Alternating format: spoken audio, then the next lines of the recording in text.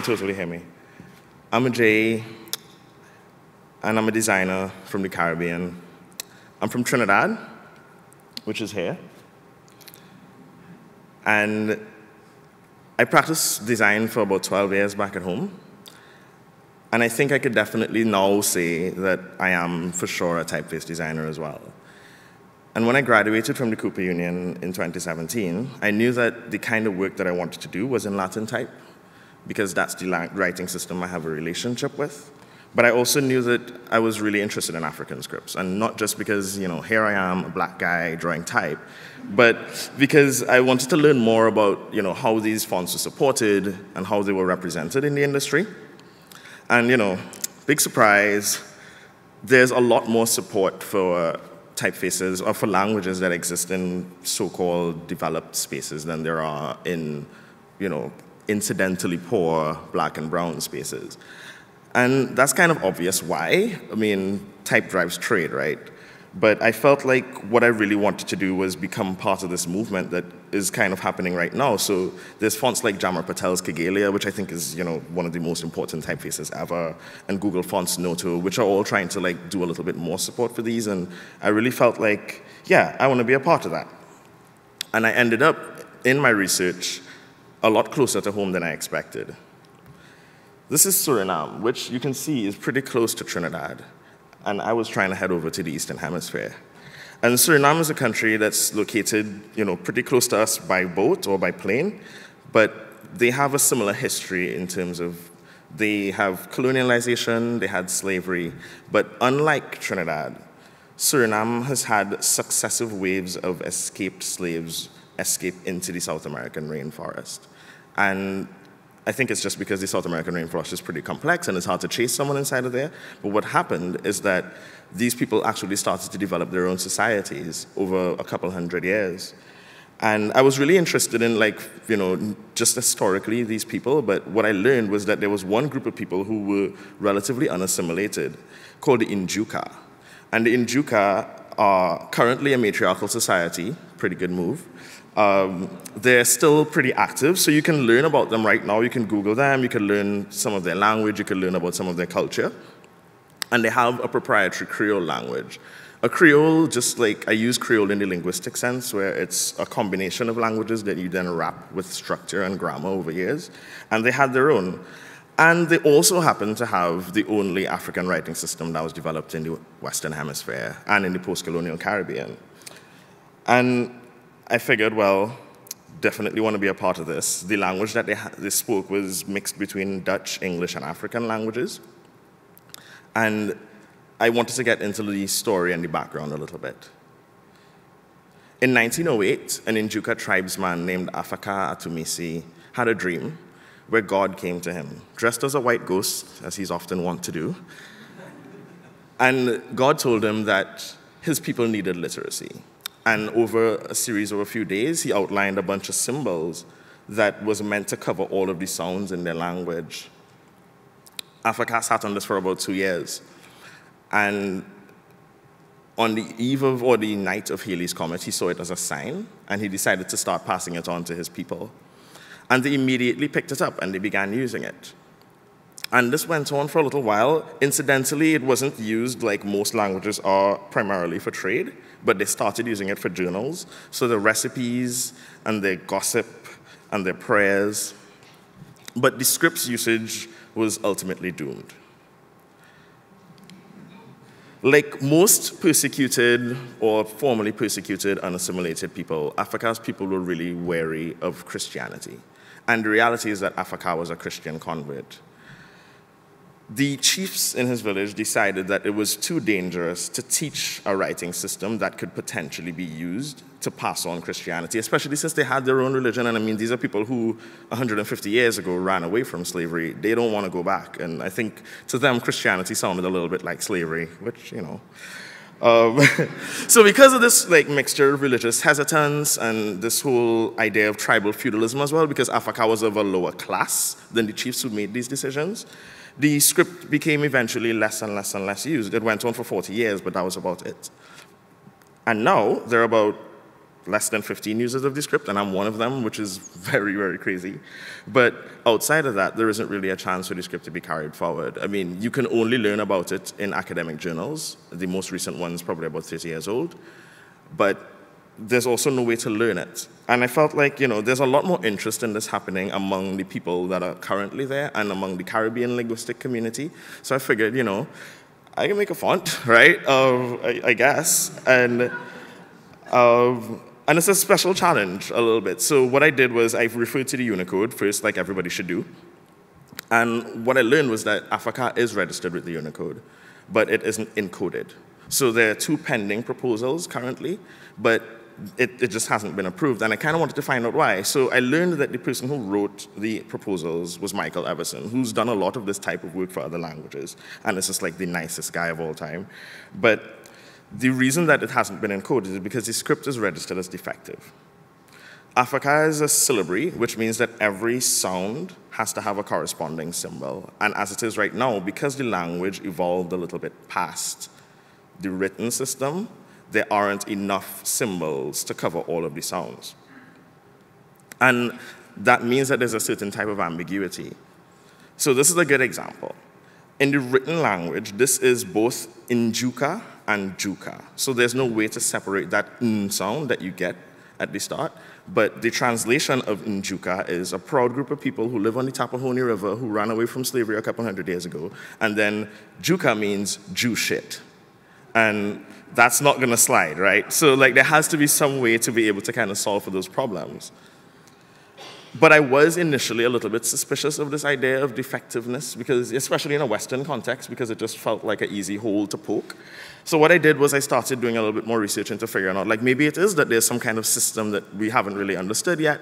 And I think that my research and then chats with Michael kind of led to understanding that at the time the script was written, you could figure out what somebody means by the writing. So even if there is ambiguity, you're gonna be able to differentiate, but that would have been fine then but it's just entirely too inaccessible now for that to be a current system. And the big thing about getting into these kinds of projects, when you ask people, I want to do non-Latin, they tell you like, well, first you need to talk to the native users, and then when you do some more work, consult the native users, and then right as soon as you're about to close up, talk to native users. And I thought that this was a pretty good move because, you know, I wanted to get in touch, so I did, but they didn't know any more about that than I did, um, which is a little bit tricky. But like there is no, so there's no, there is rules on terms of like there's an alphabetical order. There are some formalized styles, but then there's some that aren't at all. And Michael was like, well, why don't you just go start drawing and you'll figure it out? And I was like, all right, cool. When I started researching the manuscript, something that came to me pretty early was I realized that there were some manuscripts that looked really kind of like nicer than the other ones. And what I learned was that anthropologists sometimes well, no, always white anthropologists, they would be so fascinated with the work that what they would do is they would like add their own little embellishments to the forms and little bellies and little swoops and like I think it's obviously well-intentioned stuff, but I didn't really want to like have to find too much of that. And I started sifting, right? So my big thing was at the end of this, like, like if it looks too nice, then it probably just won't like it probably isn't the right one if it's all super aligned up and there's also Dutch writing next to it, you know? Um, but yeah, it was hard. Um, surprise. Um, it didn't, like, I figured like it would get super easy, but it didn't. Um, I set up like a little GitHub repo and I started drawing, but I realized that a big challenge was that some of the forms, just because I don't work in, this in this language, were kind of hard to understand, so I started a little bit from scratch. And I, first thing I had to do was kind of figure out how are these things drawn. So I basically started drawing each form by hand and figuring out, okay, which is the fastest way to get this done? That's probably how they would have done it. And then that kind of helps me figure out things like, you know, like stroke modulation and, you know, how does contrast work. And I also knew that if I'm building this font, that I need to be able to work with Latin as well. So there has to be some kind of complement. And I didn't have my own non-Latin knocking around, so I used Source Sans, um, which is low contrast, it's open source, I was able to fork it and make my own modifications. And doing that meant that I had a reference for things like stroke weight and spacing, and like it just saved me a lot of head work, ostensibly. There needed to be confirmation on things like relative proportions. Um, there needed to be like, I needed to establish a baseline, for example, and you know, some letters, there is a, a, particular order that some of the letters had around them, and you know, establishing that kind of made things easier as well. There was punctuation. Um, Afrikaans has limited punctuation, but they basically use a vertical bar to indicate a, a pause. So this pause could either be what we would consider a full stop or a comma, I guess it's really just a contextual thing, but there isn't really a way to differentiate it. There's an exclamation mark, uh, which is that guy over there, um, which is kind of weird. Uh, it doesn't happen everywhere, but it is there for sure. I just I wonder if they just don't make exclamations very often. Um, there's also this squiggly line, which I thought was like some super elite typographic like tool that they were using to kind of, this was the answer to solve all of those problems, but it was really just to show the bottom of the page because like this was a still developing script, right? And you can kind of map a progress of it over time because you can see like, this is about 20 years apart, so on the left and on the right. And you can kind of see that there's a certain roughness on the left, and then things get a little bit smoother as it goes along. So these were the kinds of two groups that I was looking at a little bit. There's also a Halley's Comet glyph, in this script. And I don't know if you guys have a Halley's Comet glyph in your font, but you know, work on it. Um, so when I started designing, I knew that like my proportions had to be a little bit different to the Latin just because I want this to work next to it and I want people to be able to differentiate them. And there are similarities in some of the forms. So in the O, for example, the O in Afaka and the O looks like the O in any geometric sans. Um, the, the A sound looks a lot like the Latin A. So I wanted to find ways that I could kind of force the differentiation as much as I could. And because this script was in development, there are so many different versions that of different symbols that have happened. So what I had to do was kind of log all of them. And that was kind of fun and exciting in some cases, and considerably less so in others. Because um, some symbols are just used indiscriminately, some are upside down, some are sideways. So there's a logic that had to kind of be, you know, pushed through. But the reality is that this was a script that was still in its developing stages when documented. I'm sure some of the people who were using it didn't know it very well. There are three major styles, one of which is the you know, anthropologist's drawing version, um, some of which are a little bit more faithful than others. And what I decided I couldn't do was ignore anything. So I basically drew them all, but I considered them in the idea of like stylistic sets because that's kind of what they are, right? Um, and after a few months, I was able to actually like start making sentences and like start like seeing my way a little bit but you know, this is nice. This is good for archival stuff, and it's nice, you know, for people who might want to check it out. But if this had to be anything more than just a research project, something had to be done about these missing sounds. So some of them are just not reproducible. Some of them are used interchangeably. But what I did was I did a Python scrape of the dictionary there's an online dictionary. And this Python script kind of helped me figure out which sounds are really missing and which sounds are you know, halfway accounted for. And the way that this kind of solution usually happens is that some hardworking linguist works with a type designer and they interface with the community and then they actually like have a collaborative solution for these missing sounds. And I figured, well, that could be kind of cool. We could start looking at that, right? Um, and you know, there's a need for nasal modifiers, for example. So a nasal modifier gets you out of Jew shit territory. And what Michael suggested basically was having a dot before character for prenasalization and a dot after for post. But for me, like I found that that was fine, but then it kind of got in the way of the texture of reading a little bit. So I figured, well, why not just put it on the top or the bottom? Because there aren't any diacritics anyway. Same thing for the O sound. So the O sound has no way to differentiate sometimes between W and O. And I figured, well, why not just like add a little bar on top of there or like Macron for the nerds. Um, and, you know, and then we can end up with actual like nuance now, you know? The A and E sounds, uh, they use really interchangeably, just like the O and U sounds but a lot of the A and E sounds are just like they just there's so many upside down versions that I figured well just like flip it for whichever one you don't have and then you know we can at least like know that yeah this is the differentiation right because all I wanted to make sure and do was not make too much modifications to the glyphs that existed. The, the difference between is and is not in Aucan is differentiated in Latin by an accent. So that's the only way that you know. And in the script, there's no way to differentiate that. So it could be is or is not when it's written, so why not just like add an actual accent? This is a language that has roots in Dutch, so why not just like refer to those when we're building, right? And same thing, like why not use the umlaut or the Dutch tersa, again for the nerds, um, to help differentiate between the O and U sounds? Like that can be a pretty quick solution, right, for where there isn't a differentiation. And these are people who are using Latin, definitely, in all of their communication, so they should be familiar with diacritics, and if not, it's at least an easy way to implement it. And eventually I was able to like start making sentences, you know, and it's like, I still think it's pretty imperfect and a little hacky, but it's, it's clearer than it was before now. And it's done now without the alteration of symbols, but just the addition of some diacritics and the rotation of some of the forms. I knew that using this, right, because it's pre-Unicode, I had to figure out like usability. And usability was a little bit of a challenge for me. And what I figured I could do, because this is the language that is written in Latin, what I could do is write some OpenType. So what I did was I wrote some OpenType and a little bit of Python to help me write the OpenType. But that means that now you can just like switch on discretionary ligatures and just type in Latin and then switch it over to Afaka if you'd like. But this isn't like, I feel like this isn't enough.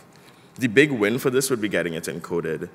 And getting this encoded means that we need to interface with the community directly. So, you know, right now, there aren't enough users to actively verify it, but I kind of figure that if anybody is to verify it, it should be them over me or anybody else. And I feel like they also deserve to have a certain amount of input on this because this is part of their legacy. So I used Drawbot again with Python to make some tools. And one of the tools was a little bit of a proof sheet. So I sent them like basically PDFs that we generated that allow them to refer to a shape and say, oh, this is cool, but I also have other shapes next to it, so there's a point of reference as well. And if we're using Python to generate things, and we're using Python scripts, then we can also make like little flashcards that you can actually use now to learn the language. Um, and this is just a matter of scraping the website that there is a dictionary for, and then using combination of Python for typography and discretionary ligatures to switch over to the symbol. Um, but I also like, I wanted to differentiate the fact that this is a syllabary, so you can kind of read it a little bit easier because each syllable is color-coded a little bit. Um, this is a good time to talk about cultural erasure and colonialization and stuff. But the, reali the reality is that like this script wasn't diminished by colonialization. If anything, the script is a response to colonialization.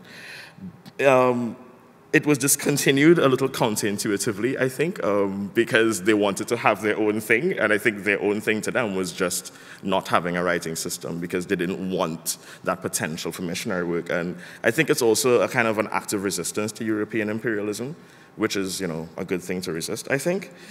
Um, but but the times are different now, you know, and I feel like these people have a, a chance to actually make a decision on this. And this is a pretty important linguistic artifact, if nothing else. So the project is licensed under the OFL, which means that people can fork the project when it's released and they can make their own modifications. I will take pull requests. They could also access the code in case they want to do stuff like this on their own. And, and it's free and it's for public modification and use. I feel like there's no way to deny that what we do is service capitalism. I mean, if we're thinking that we're not, we're lying to ourselves, right? But I also think that it's fine to admit with that acknowledgement comes a certain ability to make change. And I'm not saying that we should leave here and we should start charities or anything like that, but I'm saying that some work won't get done unless somebody does it. Toni Morrison said that you should draw the fonts that you want to see in the world. She did. Um, no, she didn't. She said that you should write the books that haven't been written if you want to read them. And I mean, that is basically what I try to take from it myself. I feel like one of the ways that the developed world can offset the um, massive cost of its advancement to everybody else is to try find ways to, that it can you know, include cultures that may have been swept under the rug or you know, very forcibly erased and if you're a typeface designer, why not let that be a font? You know, maybe your next font could support some kind of underrepresented script. Maybe you can help someone send a, a message in their own language, which is a really special thing. And I think it's a really good test of your skill, and it will be a good test of your sanity. And it will be a good test of how far you really want to take this type design thing. But I think everybody should try it a little bit at least once. So I think my closer with this is a question to everybody here, which is, what are you going to make? Thank you.